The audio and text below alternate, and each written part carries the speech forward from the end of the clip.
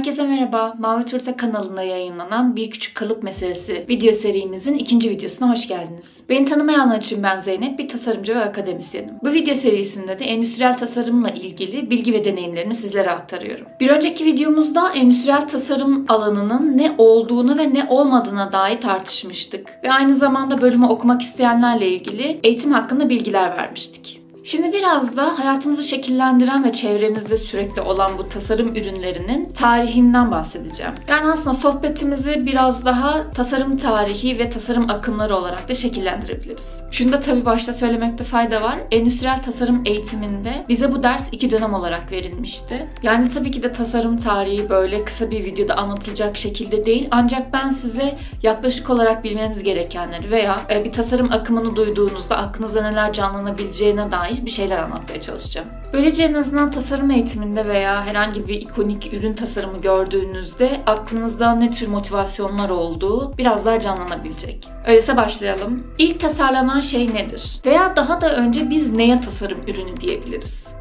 Genelde tasarım tarihini ne zaman başlatmamız gerekiyor sorusu da bunların peşine geliyor. Yani düşündüğümüz zaman endüstriyel tasarımdan bahsedecek olursak evet sanayi devrimindeki seri üretimin hızlanması ve üretim bantları biraz daha tanımlayıcı bir zaman. Ama yine de bana kalırsa tasarımın hani tasarım algısının bundan önceki süresinden de biraz bahsetmemiz gerekir. O yüzden bu noktada düşünebileceğimiz tasarım ürünleri genelde doğada karşımıza çıkan temel böyle ilkel yapılarda olabilir yani. Yani kısaca taş ve çubuklar diyebiliriz. Bunların işlenmiş halinden bir çekiç oluşturulması, bir şeyin kırması amacıyla hani bir tasa güderek bir tasarımın yapılmasından bahsedebiliriz. Tabii ki de bu tür çözümler insanların hayatta kalması için işte besin bulmak veya barınak inşa etmek için geçerli olabilir. Ama kesinlikle bu noktada ergonomiden, ekonomiden, üretim aşamalarından bahsetmemiz mümkün değil. Ve bir de estetik gibi pek çok farklı açıdan yorumlanan kavramı da bu işin içine alacak olursak biraz daha zanaatkarlıktan ve zanaat kavramından bahsetmemiz gerekiyor.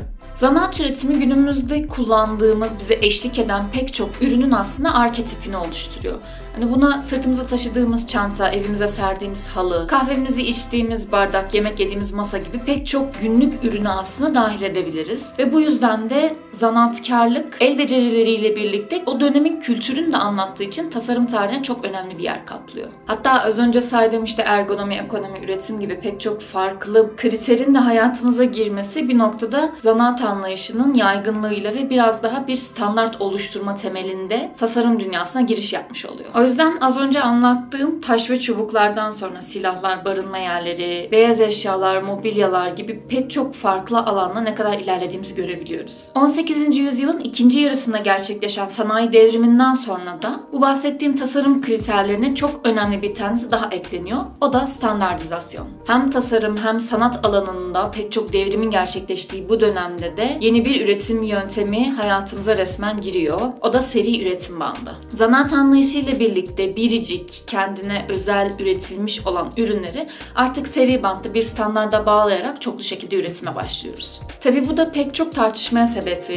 Evet düşününce her tüketici belirli bir standartta, belirli bir kalite seviyesinde bir ürüne erişmiş oluyor. Ama aynı zamanda zanaatkarlığın getirmiş olduğu bir estetik anlayışı var. Ekonomik erişilebilirlik ve bir yandan da ürünlerin artık özel olmaktan çıkması pek çok tartışmaya getiren noktada. Aslında düşündüğümüzde yerel üretimlerin, küçük işletmelerin ve böyle büyük şirketlerin arasındaki çatışma hala sürüyor ve kendi göstermekte. Ancak tabii bu tartışmanın en yoğun hissedildiği dönem tam olarak ortaya çıktığı zaman yani zanaat ve seri üretim bantlarının bir noktada farklı bir dinamiğe eriştiği zamandan bahsedebiliriz. Sanayi devriminin gerçekleşmesinden yaklaşık bir 100 yıl sonra yaşında alıyoruz tarihlerimizi ve 1851'de gerçekleşen Crystal Palace Exhibition'a gidiyoruz. 19. yüzyılın en ihtişamlı etkinliği olarak anılan bu sergi Mayıs ve Ekim arasında sürerek 6 milyondan fazla insanın ziyaretiyle kapanıyor. Dünyanın pek çok farklı yerinden farklı üretici, tüketici ve tasarımcının ziyaret ettiği müze, endüstriyel tasarımın bir nevi nelere kadir olduğunu net bir şekilde sergilememizi sağlıyor. Victoria döneminden pek çok ürünün sergilendiği bu sergide porselen,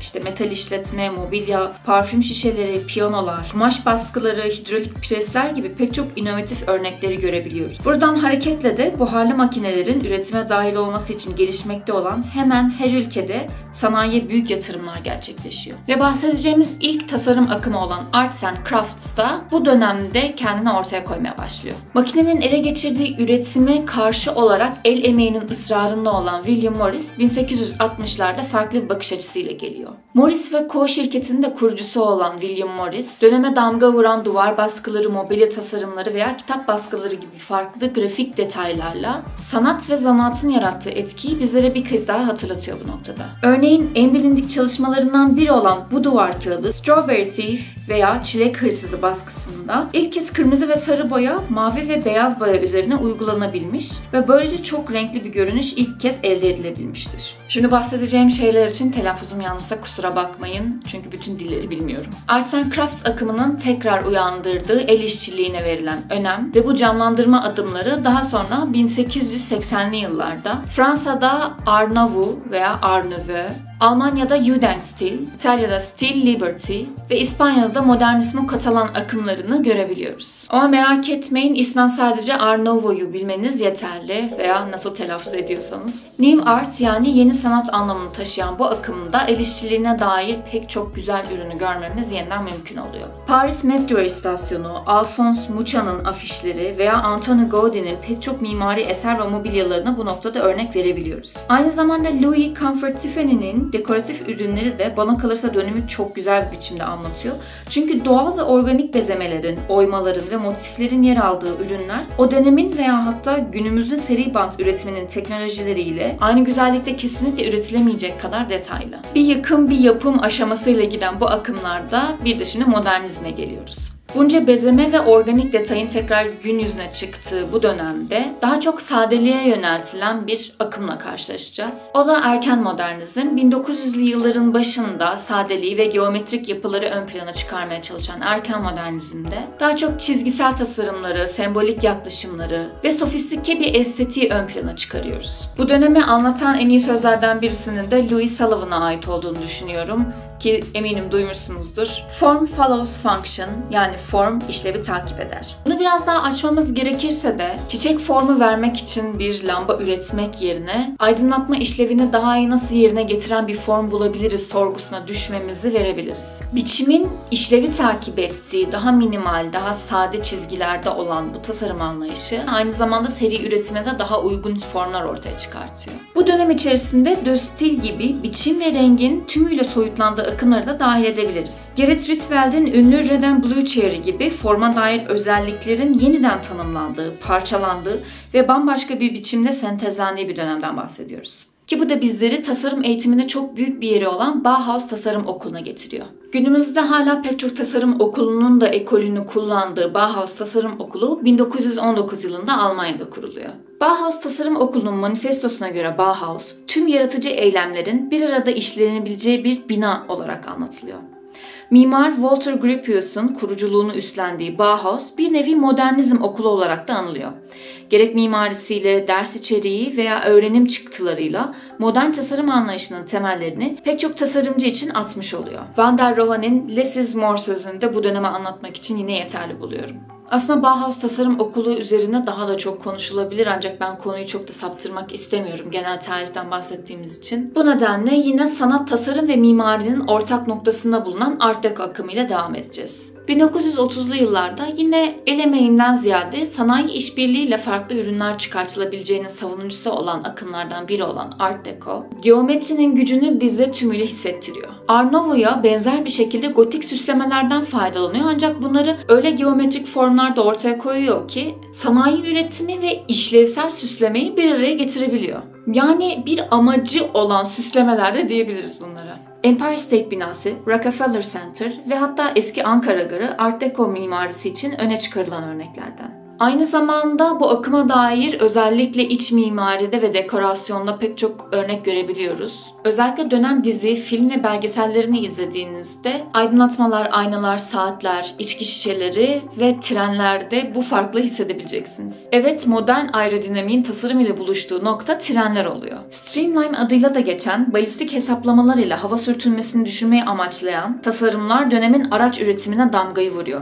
Biçimin işlevi nasıl takip edebileceğini, formu amaca dahil etmeyi bu noktada çok güzel örnekleyebiliyoruz. Ve evet artık modernizmden bahsetmemiz de mümkün. Kesin çizgilerle olmamakla birlikte yine 1900'lerde pek çok örneğini görebildiğimiz modern üretim yöntemleri ve malzeme teknolojileri artık tasarımlara taşınmış oluyor. Deneysel çalışmalarla birlikte günümüzde gördüğümüz modern ikonik tasarım çalışmalarının pek çoğu bu döneme ait. Sadece Avrupa ve Amerika'da da değil artık Asya'ya da taşınmış olan bu modern çizgide simplistik tasarımın daha baskın olduğunu görebiliyoruz. Years. Örneğin Nintendo, Sony gibi pek çok modern tasarımın çizgisinde ürünlerinde bu döneme girdiğinden bahsedebiliyoruz. Özellikle malzeme konusundaki inovasyonların olduğu bu dönemde örnekleri sıralasak da bitmez. O nedenle devam etmek zorundayım. Biliyorum modernizmi de çok kısa tuttum ancak bu üzerine gerçekten çok uzun sürelerde konuşulabilecek bir konu. Yine video içerisinde pek çok görsel koymayı düşünüyorum ki şimdiye kadar koymuşumdur. Ama videonun 4 saatlik bir video olmaması nedeniyle konu başlıklarından devam edeceğim.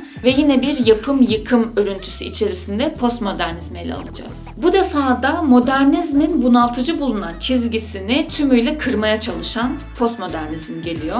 Ve Van der Rohe'nin less is more sözünü tabiri caizse dalgaya alarak less is more şeklinde kendince yorumluyor. Biçimle birlikte işlevin de bir noktada komedi unsuru haline geldiği postmodernizmde aslında eğlenceli diyebileceğimiz pek çok ürün ve grafik sanat eseriyle karşılaşıyoruz. Andy Warhol'un örnekleriyle aktarabileceğimiz postmodernist akımda renkler, boyutlar, dokular bir oyuna dönüşüyor. Philip Stark'ın karikatürize tasarımları bu dönem çalışmalarına dair de güzel örnekler sunuyor. Aynı zamanda Ettore Sottas'ın Carlton kitapları gibi renkli örneklerle de Memphis'in postmodernizmi tanıtmaktaki yeri bence çok önemli.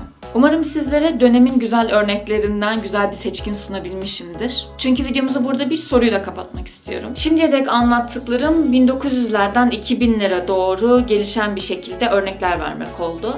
Ama biz 21. yüzyılda her şeyin ne kadar hızlı bir şekilde değiştiğinin farkındayız. Yani teknik açıdan bir özet geçtim ancak burada hiçbir yerde medyanın, internetin ve hatta günümüzde otonomimizin de önüne geçmiş olan uygulamaların yani app dünyasının herhangi bir yansımasını görmedik. Peki günümüzdeki tasarım anlayışında neler var ve ne hızla değişiyor? Bu akımlar neden oluştu? Bir önceki akımlardan nasıl besleniyorlar? Bunları tartışmak istiyorum. Benim için kısa bir sohbet değerinde olan bu videomuzda sizlere kısaca teknik anlamdan bu tasarım akımlarının nasıl var olduğunu anlatmaya çalıştım. Eğer özellikle merak ettiğiniz bir akım varsa yorumlarda benimle buluşabilirsiniz. Belki daha spesifik olarak incelediğim videolarda çekebilirim. Şu anki planımda bir sonraki videoda günümüz teknolojileriyle birlikte tasarım akımlarını incelemek var. Ama dediğim gibi dilerseniz geriye de yeni bir dönüş yapabiliriz yine. Videoyu beğendiyseniz beğen tuşuna basarsanız ve kanalımızın diğer içerikleri de ilginize çektiyse abone abone olursanız çok seviniriz. Bir sonraki videoya kadar kendinize iyi bakın. Görüşmek üzere.